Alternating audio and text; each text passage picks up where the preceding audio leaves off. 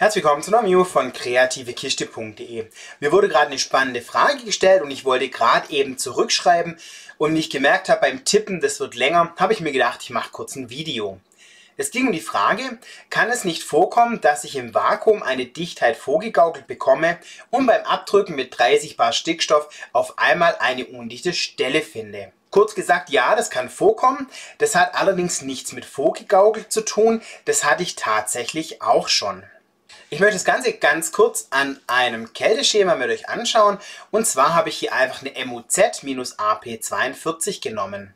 Wie kann es also passieren, dass eine Anlage, die im Vakuum dicht war, jetzt auf einmal mit Stickstoff undicht wird?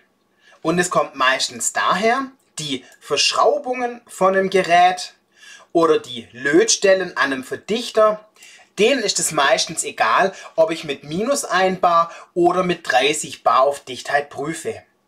Ist eine Lötstelle oder ein Börtel bei 10 Bar dicht, dann ist er normalerweise auch bei 30 Bar dicht.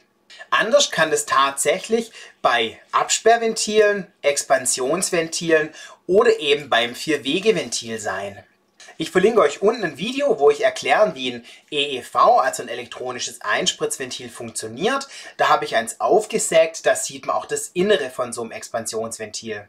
Und die Besonderheit an diesen Ventilen ist eben, dass wir hier eine Dichtung drin haben. Und zwar meistens genau an der Stelle, wo eben der Spulenkopf draufgesteckt ist.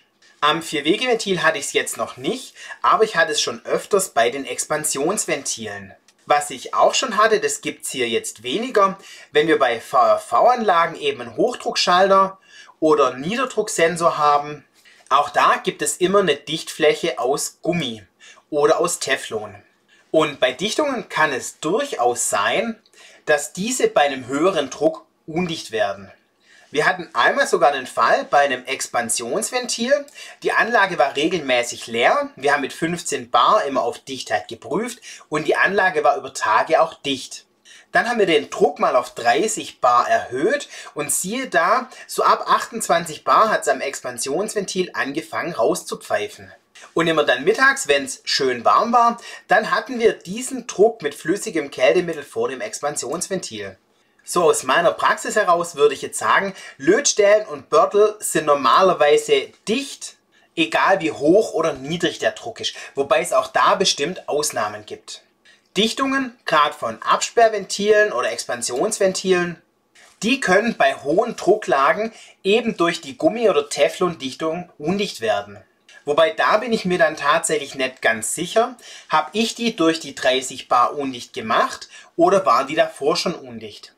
Deswegen wäre ich bei der Dichtheitsprüfung mit Stickstoff immer ein bisschen vorsichtig. Ich würde da im Druck nie so hoch oder so an die Grenze gehen, wo die Anlage vielleicht selber auch nie läuft. Auch wenn sie das theoretisch können müsste. Anders habe ich eine Undichtigkeit, die ich absolut nicht finde. Dann kann ich da mal danach gucken. Aber dann gibt es andere Möglichkeiten. Da mache ich aber noch mal ein Video drüber. Eben dann zum Thema Lecksuche.